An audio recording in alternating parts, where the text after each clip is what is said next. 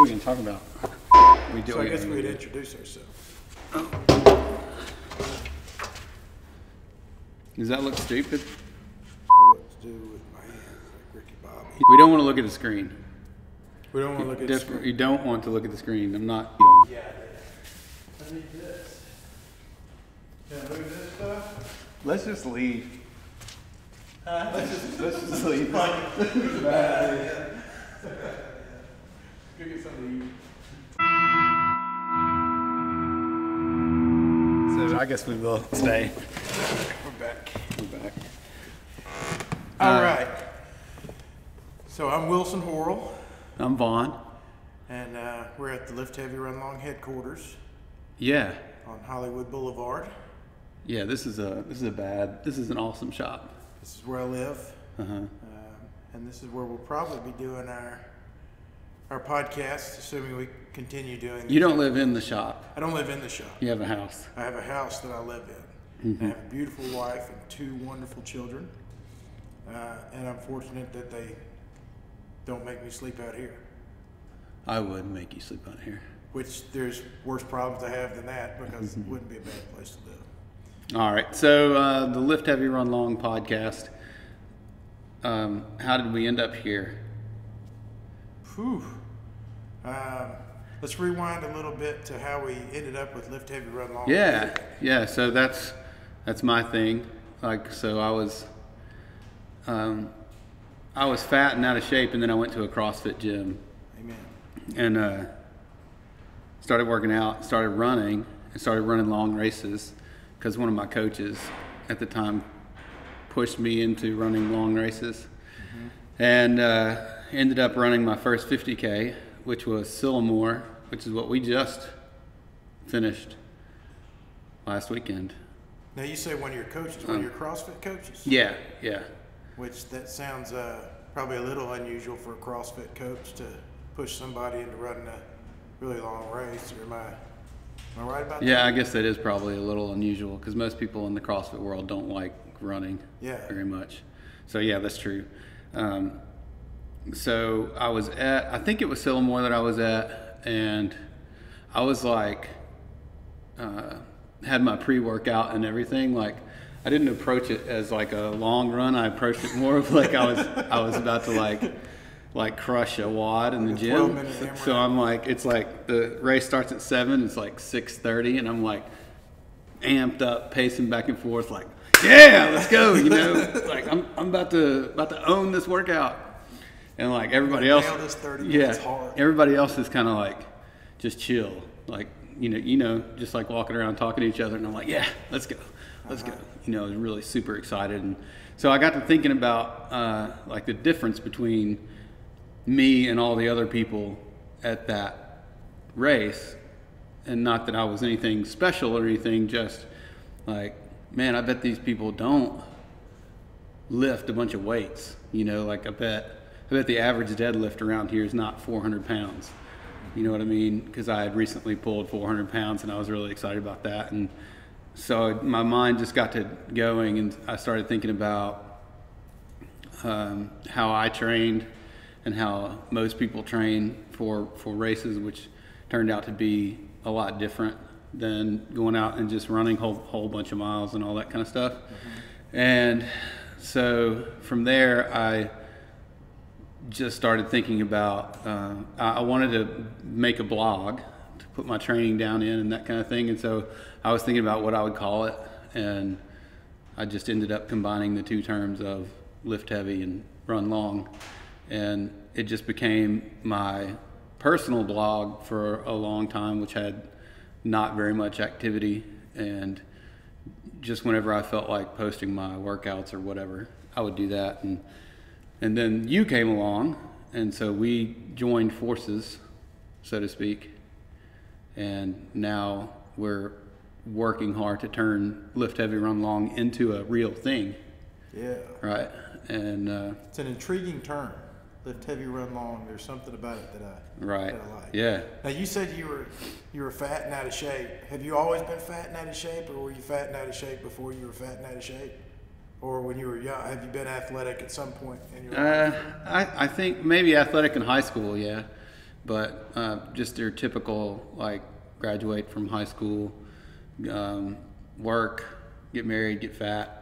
Smoke a bunch of cigarettes. Well, yeah, all all that stuff is, you know, just a, lo- a lot of people go through that. You know, where they find themselves at 30 years old and they're fat and out of shape and and you know going, oh man, I got to do something about this because if I don't, I'm not going to live very long. Yeah. You know, so you know that's a that's a common common thing. Most people most people don't stick to it, but somehow uh, I really took to CrossFit and it helped me out quite a bit. And I had a lot of good coaches around me too. Yeah. Well, a lot of good support, which is if you're at a good gym, you have a lot of good people around you. You're more inclined to be successful.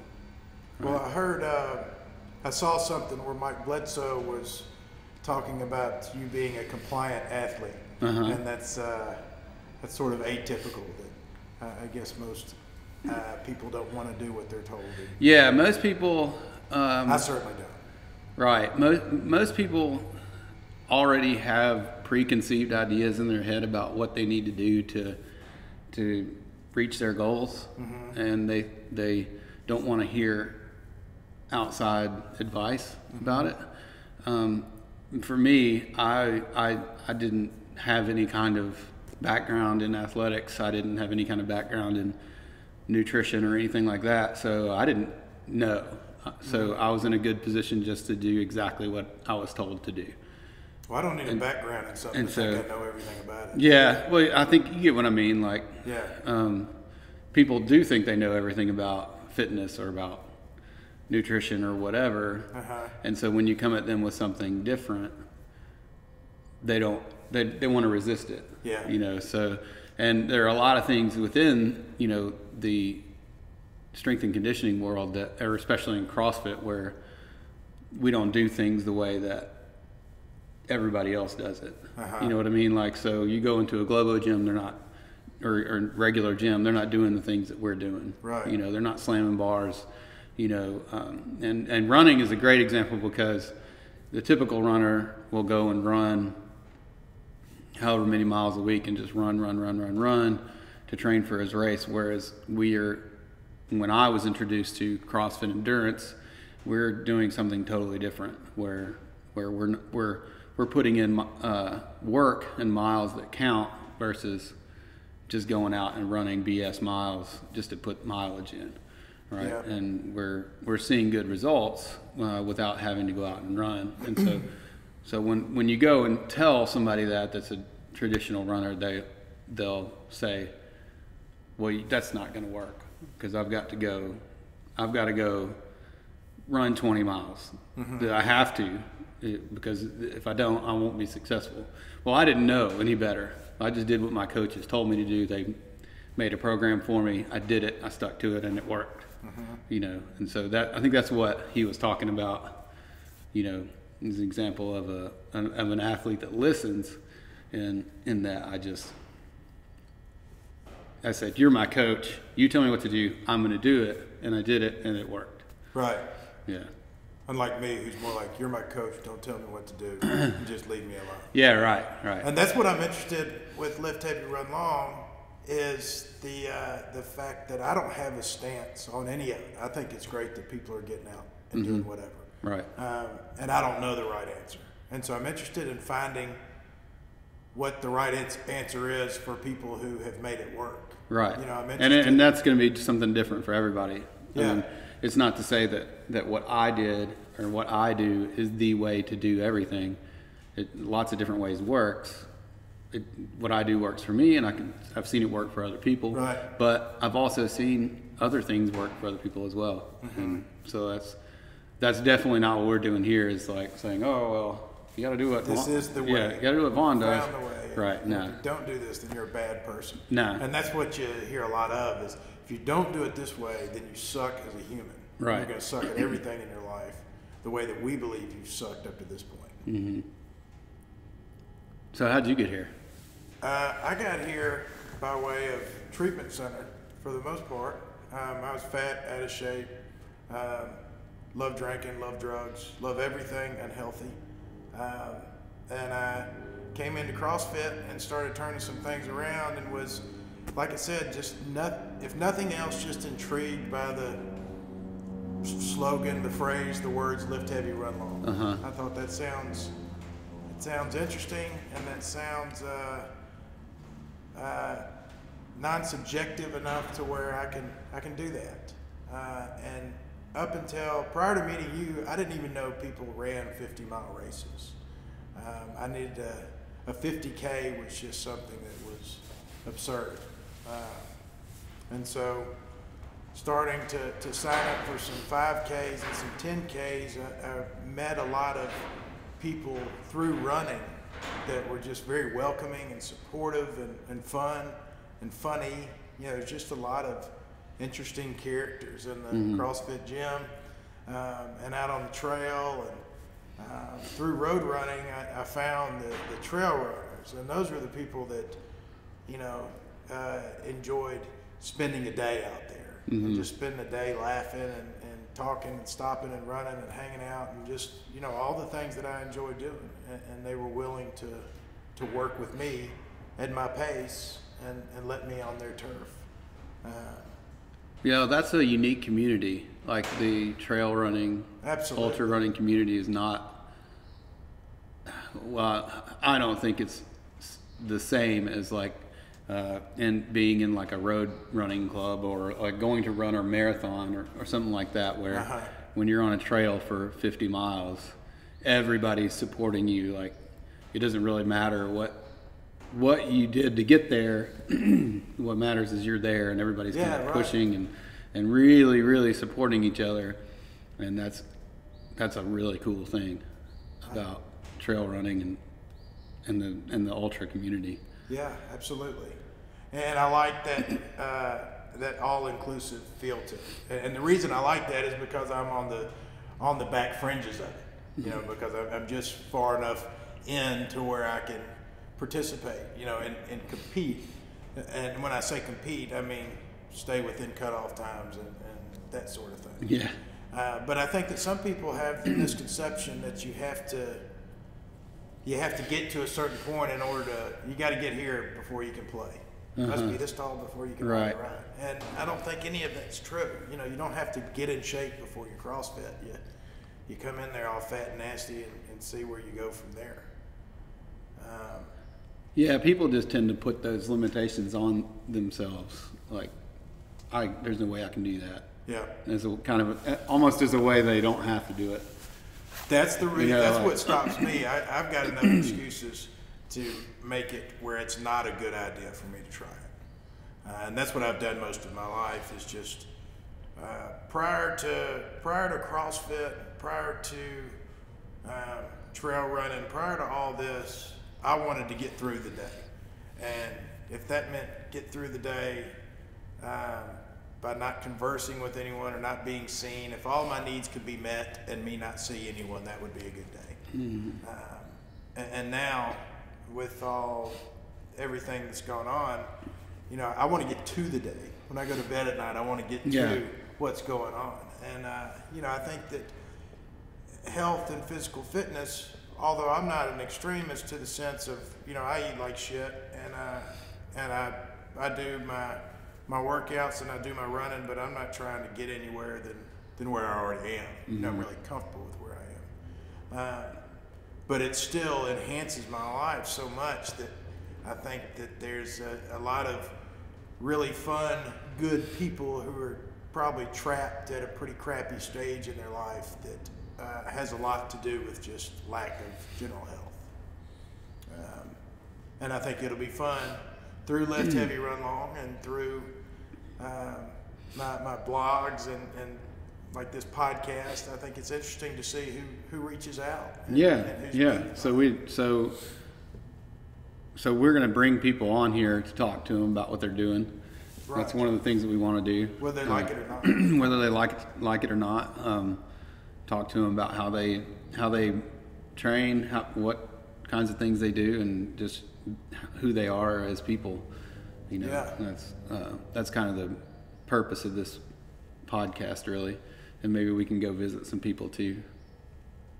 Yeah. And as you know, I tend to want to get to know people more than they want to get to know me, and I just kind of want to jump on them and, and learn everything about everybody. Uh, that goes for the person working the register at the gas station as much as it does um, the aspiring hammer thrower. Uh, but I think this is a nice, nice entryway, a nice segue into into what we're trying to do, and I think it'll be fun. I'm really excited about it, and I'm very fearful about it. Um, I, I worry about what other people think, and so I think that that's all the more reason to kind of tackle this and and see where it goes. Sure. It's fun to be where I am, and you know, not really having the knowledge and the and the um, skill that, that you have as a coach and a CrossFit box owner, and, and what you know about nutrition and running and and uh, you know how the body works. I don't have any of that, uh, but what I do have is an interest in, in people, and I want to learn about them. And I think that uh, we'll have a lot of fun with it. And like you said, we'll get them here one way or the other. If Amanda has access to chloroform, pretty sure the hospital, just wake up right here and you know make them answer four questions, and then we'll let them Oh, that's gonna be great. let them leave. Or we'll probably let them leave, depending on how they answer the question. We got space. We'll put them in the office. We got a lot of over there. This can be a fun deal. Um, so if anybody wants to, I'm trying my best not to make eye contact with the computer. Vaughn, Don't look. Vaughn said not to look. I'm not looking. So I'm not. I- I'm not looking. I don't know what to do with my hands. Um, Um, so if anybody has any questions or interesting ideas or topics or that you want to be shared, um, then by all means hit us up. go follow us on Facebook. Follow us on and Facebook. and if you go to the website and sign up with your email, uh, you'll get a you get an email every day from Beef.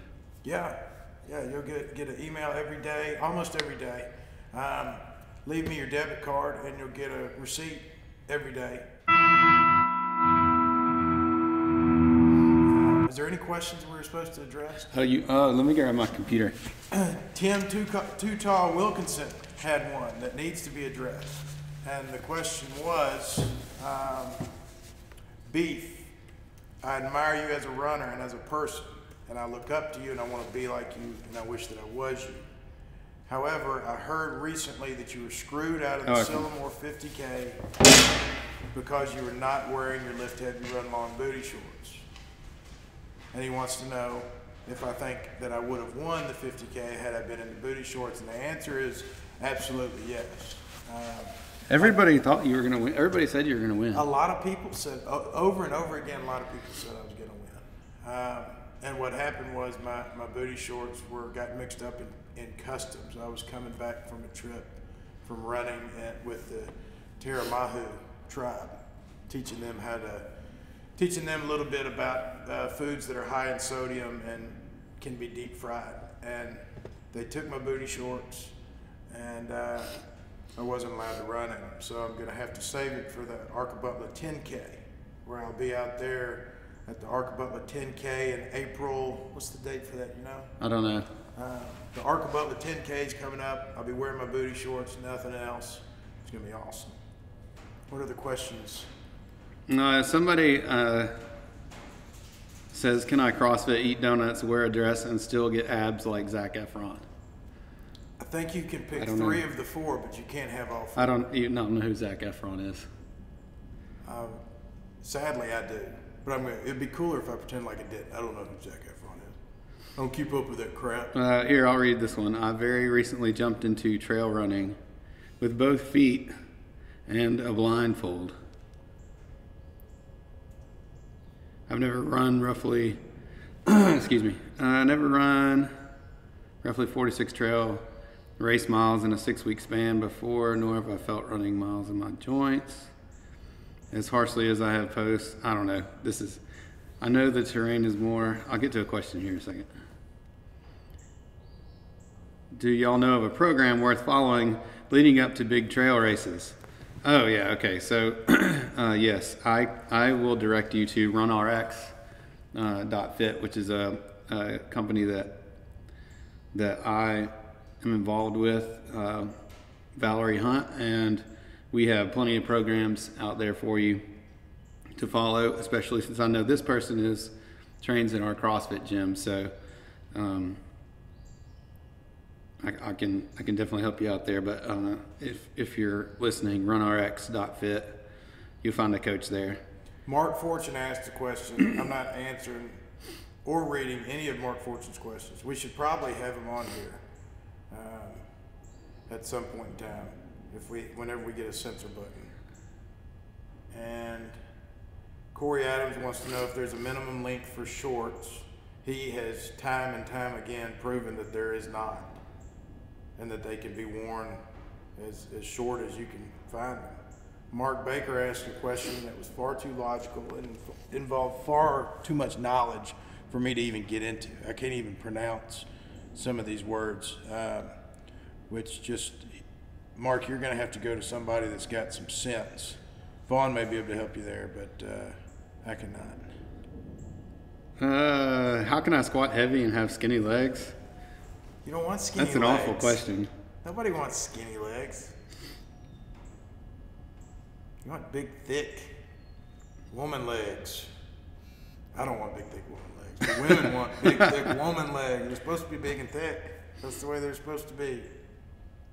Amanda said, I've never heard of skinny legs and CrossFit in the same sentence. We squat too much. It's too much. That's the point. All right. So, we're going to try to do this, what, once a month? We're our the goal is once a month. I think this was great We can that do we it. had the had the courage to even make this happen. Yes. This scared me to death. It's over this now. has scared me to death. It's over. Uh, so we're gonna go about having a good day. We're gonna come back in less than a month, and we'll have an athlete on the show. We will. We will have somebody on the show. They're gonna be awesome, whoever it is. Yeah. Yeah. And it won't be me. I won't be the athlete, but I'll be here. Thank y'all. Sweet. Have a good day.